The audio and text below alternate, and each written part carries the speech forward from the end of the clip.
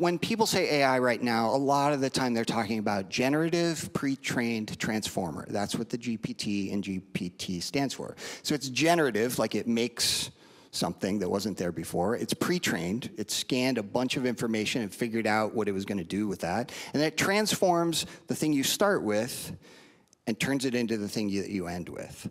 So that's GPT and how it works. Now we're going to try that right here. So we have a, a sentence starting. I, I, want the audience here, when I, when I say go, I want you to tell me what the next word is. Once upon a...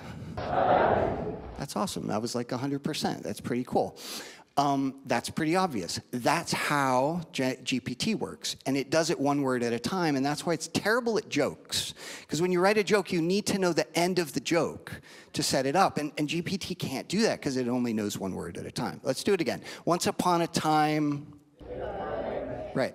A little bit of disagreement in the room, but statistics tells me that 40% of you said there right? So, okay, uh, one more time. Once upon a time, there was. 100% again. That's pretty awesome. So this isn't that bad. Like, I think some of you might be sentient.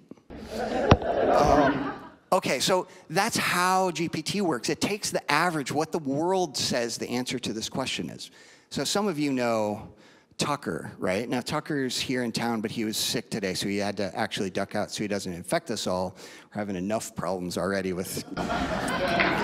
Um, but so I asked Tucker to finish the sentence once upon, uh, and Tucker said, once upon a Scottsdale sunrise, futures bloomed in sleep deprived eyes. They sipped insights with impact in sight because Dan's AI argument was right. Now, what I'm trying to say there is Tucker is way better at answering this question than AI. And all of you are way better at answering the question that you're the expert in as well. And so leverage AI, get the information out of it, but there will always be thought leadership to extend the sentence before what's already what already exists in the world. So that's uh, that's